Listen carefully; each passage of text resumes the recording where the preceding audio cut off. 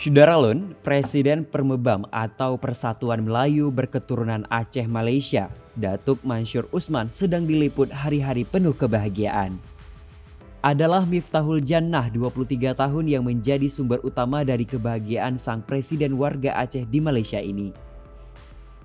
Miftahul Jannah yang biasa disapa Jannah adalah putri keempat Datuk Mansur dari istri ketiganya, Datin Melor Husin.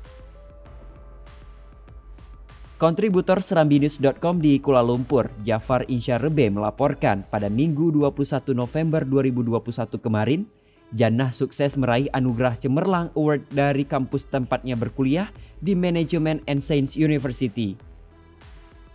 Dihubungi Serambinews.com pada Senin 22 November 2021, Datuk Mansur mengatakan Academic Award adalah salah satu dari lima kategori penghargaan bagi mahasiswa berprestasi di kampus MSU Malaysia.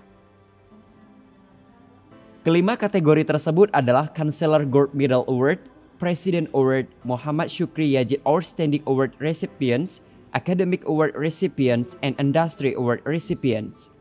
Para penerima penghargaan itu akan mendapatkan hadiah bantuan pendidikan atau beasiswa S2 mulai dari 5.000 hingga 10.000 ringgit Malaysia uang tunai, serta piala yang diserahkan langsung oleh Presiden Manajemen and Saints University.